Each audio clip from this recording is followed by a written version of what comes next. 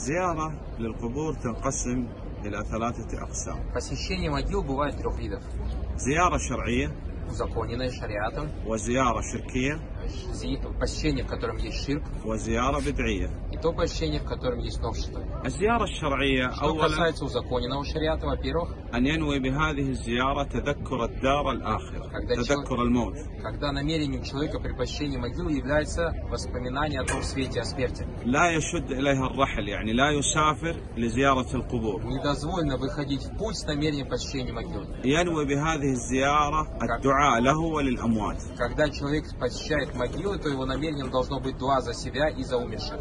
بالوارد عن النبي صلى الله عليه В وسلم соответствии с тем, что пришло от Пророка саллаллаху алейхи ва саллям. الآن هنا الحكومة ولله الحمد وضعوا لائحات عليها الأدعية الواردة عن النبي صلى الله عليه وسلم بكل اللغات Правительство этой страны по их приказу здесь установили плакаты, на которых написано дуа, которые надо делать при посещении могил на всех языках. لكن إن نوى أن يدعو أصحاب القبور من دون الله سبحانه وتعالى أصبحت هذه الزيارة زيارة شركية Если же намерением человека при посещении могилы является обращение к умершим, тогда это посещение будет посещение, в котором есть ширк. وإن نوى أن يدعو أصحاب القب...